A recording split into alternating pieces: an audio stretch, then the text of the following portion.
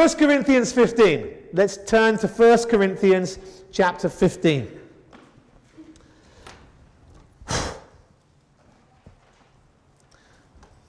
Well, it's a day for miracles, and those of you who know me will know that keeping it short would be a miracle in and of itself, and I'll do my best. But it's Resurrection Sunday, so I'm supposed to say, He is risen, and you say, there you go. Now we know your church background. We knew you were Baptist anyway because you're all sitting at the back. but, that, but that helps us as well. That helps us as well. Um, so we are talking this morning briefly about the resurrection. And it was lovely this morning with our additional readings. We normally have one reading. We got spoilt with four today. And it was good just to hear the flow of the passion narrative, the crucifixion, the resurrection. And there's so many points in all of that I could have picked up. The one that really struck me in the readings this morning was where, you know, Pilate washes his hands of the whole situation and they say, Let his blood be on our hands. Man, no wonder that generation, you know, the scripture says about them, you know, that it would be better for Sodom and Gomorrah on the last day than that generation of Israel. That wicked generation. His blood be on our hands. Well, folks, the good news is, is that his blood need not be on any of our hands, but yet his blood can cover us and cover our sins. And in 1 Corinthians 15 and verse 1, we have Paul reminding us of the gospel. And uh, he says in verse 1 I would remind you, brothers and sisters, of the gospel I preached to you, which you received, in which you stand, by which you are being saved, if you hold fast to the word I preached to you, unless you believed in vain. If you're saved, if you're a Christian, there is one reason one reason only that you're a Christian. You're not a Christian because you go to church. You're not a Christian because your parents go to church. You're not a Christian because you turn up for hatches, matches, and dispatches. That's. Uh, christenings, weddings, and funerals in that order. Or Easter or Christmas or whatever else. You know, you're, not a burger because you go to McDonald's. You're not a Christian because you occasionally turn up at a church. You're a Christian because you've received the gospel and you stand on that gospel. The gospel message is what makes us a Christian. It is a methodology by which Christ forgiveness, his redemption from sin, is applied to us.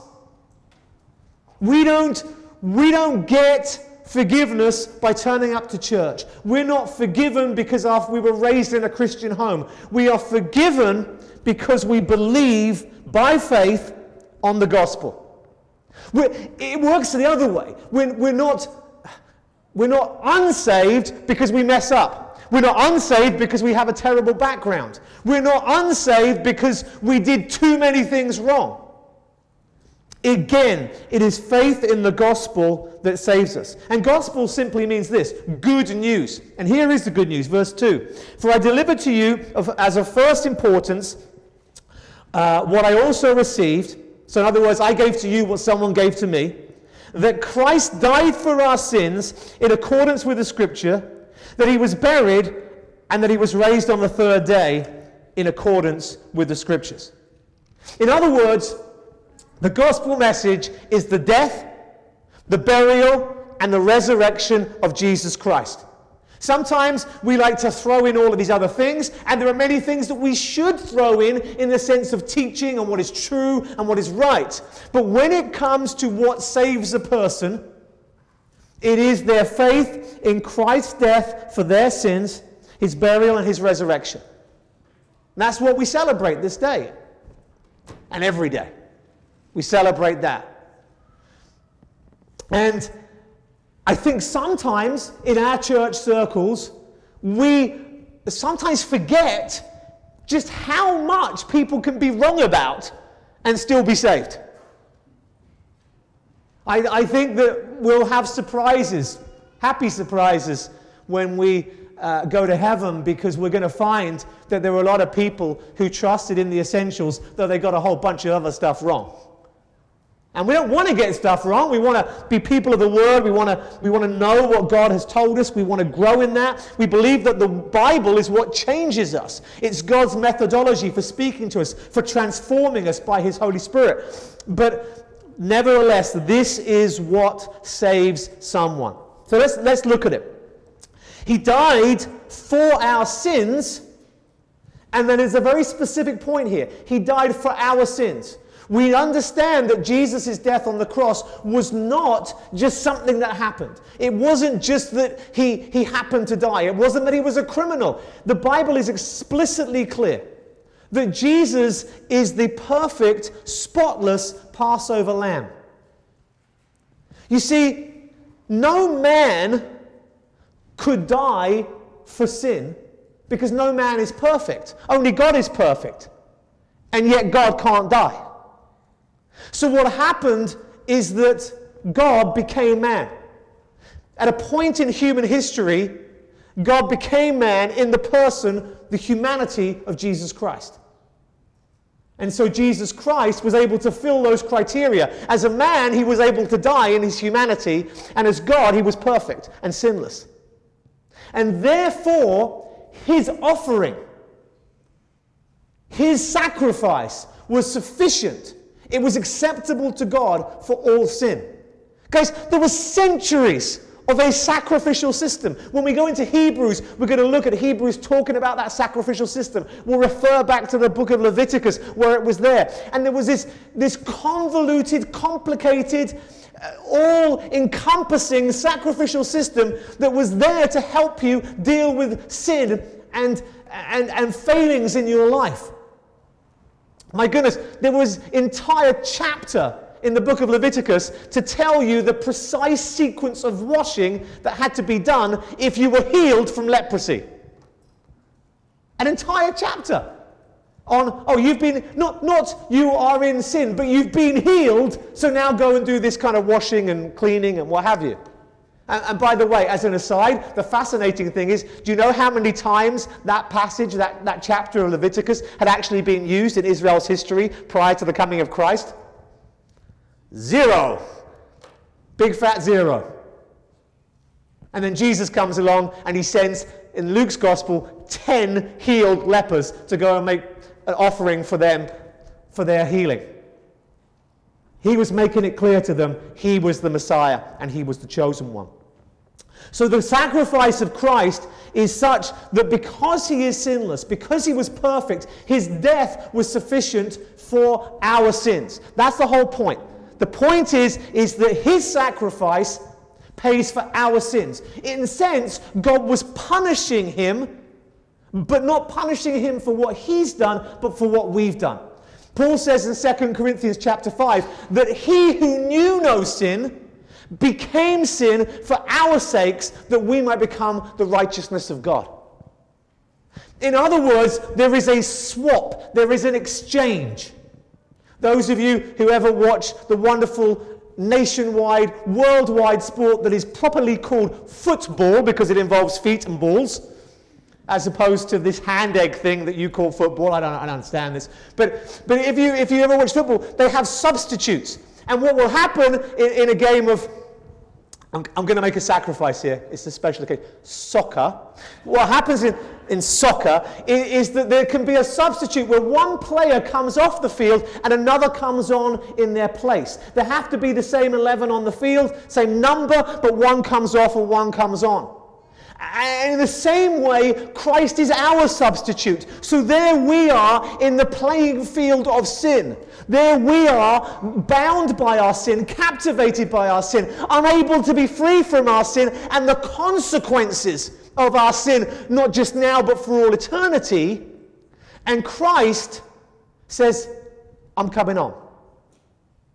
And so he leaves his place of righteousness and comes to our place of sin, and we leave our place of sin and go to his place of righteousness. We get his righteousness as if we had lived it. And he is punished for our sin as if he did it. It is the least fair swap in the history of the universe. You could take your house, your life savings, and you could swap it with me for this pen. That'd be great. And you're welcome to do that, by the way.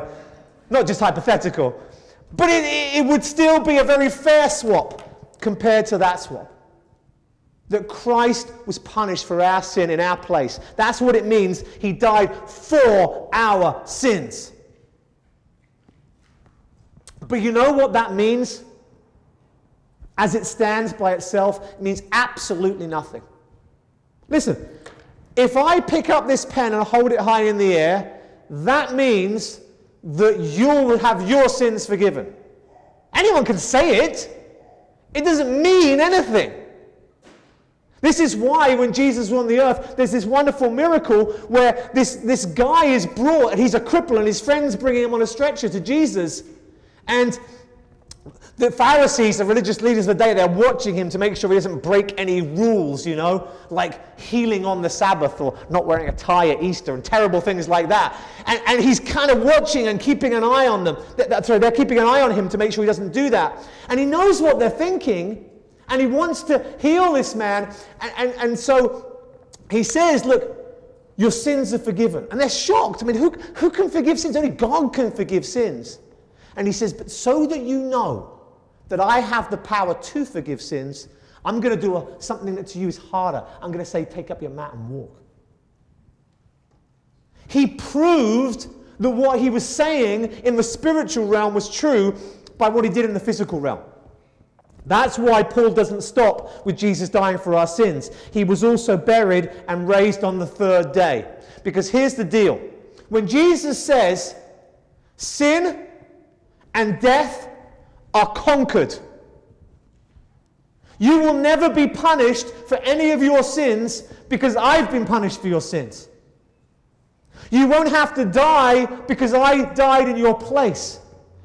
Eternal life is yours. When Christ offers you that, you know He means it and you know it's true. You know how you know it? Because He rose from the dead. It's all well and good saying that you've conquered sin and death if you're still dead. Buddha, dead. Muhammad, dead. Joseph Smith, dead. Everyone's dead. But Jesus is alive. And look what he says. This is fascinating to me. And if you're a historian, this should be even more interesting for you. Because he goes on to say, um, and, and, by the way, regulars here, you know how painful this is for me to skim over the phrase according to the scriptures. Twice! Twice! I know you've got to go, so I'm being gracious here, but this is breaking my heart. Isaiah 53, by the way, that's where you want to go. We're going to look at Psalm 22 in our Mark Gospel studies as we come to the cross in the next few weeks. But Isaiah 53 shows the prophecy of the suffering and the death of the Messiah. But it also says that not only will he die, but he'll be buried in a rich man's tomb, which is what happened. And then it says that his days will be prolonged. Well, how do you prolong the days of someone who's dead? Resurrection. All prophesied by Isaiah 53. Hundreds and hundreds of years before Christ came. But anyway, my point was going on according to the scriptures. And after that, he appeared to Cephas, that's Peter. And then to the 12. We read about that this morning. Then he appeared to more than 500 brothers and sisters. If your version says brothers, by the way, it's an inclusive word. Brothers and sisters will allow for the women as well. At one time, most of whom are still alive, though some have fallen asleep. Just in passing, by the way, note how Paul cannot use the word die in reference to Christians. He just can't bring himself to do it. How can you talk about death in this context? You can't talk about death. We fall asleep, Paul says. We are, we are gone for a while, but we will come back with him. He'll tell us that later in this chapter. But look at what happens here. He's saying, look, it wasn't just me, it wasn't just Peter, it wasn't just the disciples. At one point, there were 500 people and maybe, maybe he does mean brothers, in which case he's not even counting the women. That was fairly common. Maybe there's more than 500 people. There's 500 plus people who saw the resurrected Christ at one time. And why does he say they're still alive? This is why he says they're still alive. So you can go and ask them. It's like if you know, people, people are saying, you know, oh, well, we can't believe in the resurrection of Jesus. And then people just wrote what they liked. He's saying this at a time when the people who witnessed it were still alive. You go and ask them. You can go and check the details. You can go and follow up for yourself. The resurrection of Jesus Christ isn't some story, it isn't some fairy tale. It's something that was verifiable. It's something that when people at the time were like, they're talking about him rising from the dead. Are you sure? Is this possible? Is this real? And there were people that you could go and ask that would tell you the same story again and again. I was there, I was there, I was there, I was there, I was there, I was there. You know, in the Mormon church, they have all these extra writings, Book of Mormon and Doctrines and Covenants and stuff like that. They have all their extra books. And, and you know how they believe that that came? It, it, came in these tablets that had to be translated with special glasses. I'm not even making this stuff up. The, the unreadable tablets, magical glasses to translate them. And who claims to have seen them? Two people. It was whenever you have cultic revelation, so called, it's always done in private, in secret. Jesus rose again from the dead publicly, clearly. Everything was there to be verified, to be seen, to be, to be clear to all. There was no doubt. There was no question mark. And this is why Paul says it. He wants them to be absolutely convinced and sure that the resurrection is something that will never be forgotten or doubted because it can be attested to. It can be attested to. Now, I want to skim ahead a little bit now to verse 20. Um, 20 There's so much in this chapter. He talks about how essential the resurrection is for salvation. But he says in verse 20, but in fact, Christ has been raised from the dead, the first fruits of those who have fallen asleep. For as by a man came death, by a man has also come the resurrection of the dead. For as in Adam will die, so also in Christ shall all be made alive. But each in their own order. Christ the first fruits, and then at his coming, those who belong to Christ. Guys, this is the neglected middle child of Resurrection Sunday. All the middle children are like, yeah, we're neglected, yeah. You know, this is, this is the overseen one. This is the one that's hidden away. This is, this is the doctrine we forget about. That Christ rose from the dead was not the beginning and the end of resurrection. We, we saw this morning in the passage that was read to us that many others were resurrected in an earthquake that same day and went out and told people, hey, I know you were just at my funeral, but here I am, kind of thing, you know. Again, more testimony, more, more verifiable facts. And it is a statement, it's an indication that this resurrection is not over. What Paul says here is that if Christ has been raised from the dead, he is the first fruits of those who've fallen asleep. So Christ dies, and then on the third day, so day one, the day he dies, day two in between, and then on the third day after that, so what we would call two days later, but on the third day, Christ then rose. So there's this period of time when he is perceived to be fallen asleep. Now, you and I will know people who have faith in Christ who are no longer with us. To use Paul's terminology, they've fallen asleep. They're no longer with us. Paul says that Christ is the first fruit of resurrection. He says that the dead in Christ will rise. Look at the timing of it. But each in his own order, verse 23. Christ the first fruits, and then at his coming, those who belong to Christ. Then comes the end when he delivers the kingdom to God the Father after destroying every rule, every authority, and power. For he must reign until he has put all his enemies under his feet. And the last enemy to be destroyed is death. Christ has conquered death. He proved that with his resurrection. And one day, death will be destroyed completely. And that will be shown because all of us who belong to Christ will be raised again. We will be raised again. If you believe that Jesus physically rose from the dead and you don't believe that you will physically rise from the dead, you need to read 1 Corinthians 15 properly, end to end. Get your head in this text and read it. This is our future, and there will be an end, and all kingdoms will be destroyed, and Christ will rule and reign, and those who belong to him will be there ruling and reigning, enjoying the kingdom in resurrected, glorified bodies. What does that mean? Oh, I don't think any of us know fully, but I can tell you this it means no more sickness, no more death, no more aging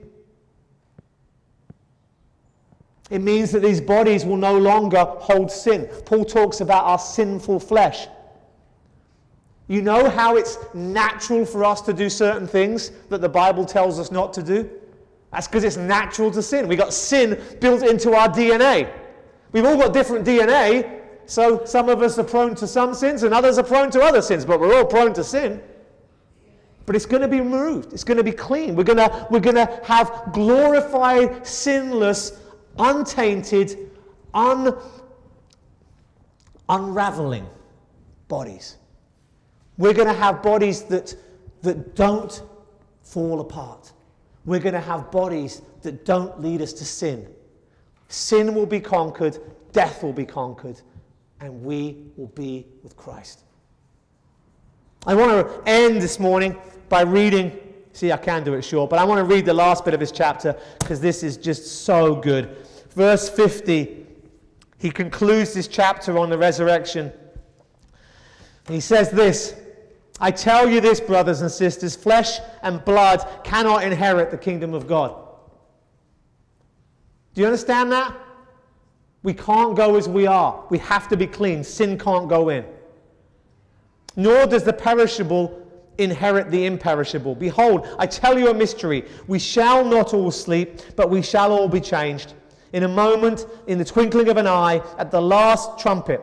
So, not everyone's going to die. There'll be some people who will still be alive when he comes. And in that moment, in that brief moment, the trumpet will sound and the dead will be raised imperishable, never to die again. And and we shall be changed. For this perishable body must put on the imperishable, this mortal body must put on immortality. When the perishable puts on the imperishable, and the mortal puts on immortality, then shall come to pass the saying that is written Death is swallowed up in victory. O death, where is your victory? O death, where is your sting? The sting of death is sin, and the power of sin is the law. But thanks be to God who gives us the victory through our Lord Jesus Christ. Death is defeated. Its sting, the harm that it carries, is sin. Sin leads to death, and they've been conquered by Christ. And it is our faith in this Easter message the death for our sins the burial and the resurrection of Jesus Christ. It's placing our trust in Him, committing ourselves to Him in that, trusting Him. Guys, my eggs are in one basket. I hope you have that expression. I use all these, these little proverbial expressions, these little idioms, and I hope they translate okay. But my eggs are in one basket. I, I am not, I have no plan B. I have no backup plan. My trust is in this and this alone. That when my time comes, I will see my Creator, my Savior. And I will be able to stand in His presence and look in His face because His blood has cleansed my sin. He cannot reject me because it would mean rejecting Christ. And my encouragement to us this morning is twofold. if we're not Christians, if we're not sure, if we haven't placed our trust in Jesus, if we haven't decided to follow him, if we haven't turned from sin and turned to him who frees us from sin, if we have not yet done that, then this is as good a day as any to do it. And for those of us who have, Paul says, My beloved brothers, in the final verse, be steadfast, immovable, always abounding in the work of the Lord. The resurrection of Jesus is the assurance of eternal glory, which is our motivation for present day living. Everything you do will either be burnt up as worthless or be rewarded for eternity. We have one life. Let's make it count in light of his resurrection and ours to come. Let's pray.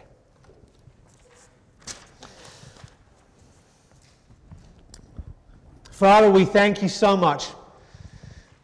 Thank you for the sacrifice of your Son in our place for our sins. Thank you. Thank you. Thank you. Apart from him, we would be rightly judged and condemned for our many sins deliberate, unconscious, sins of action, sins of omission. Thank you that you are kind, that you're merciful, that you forgive. Thank you for saving us. Amen.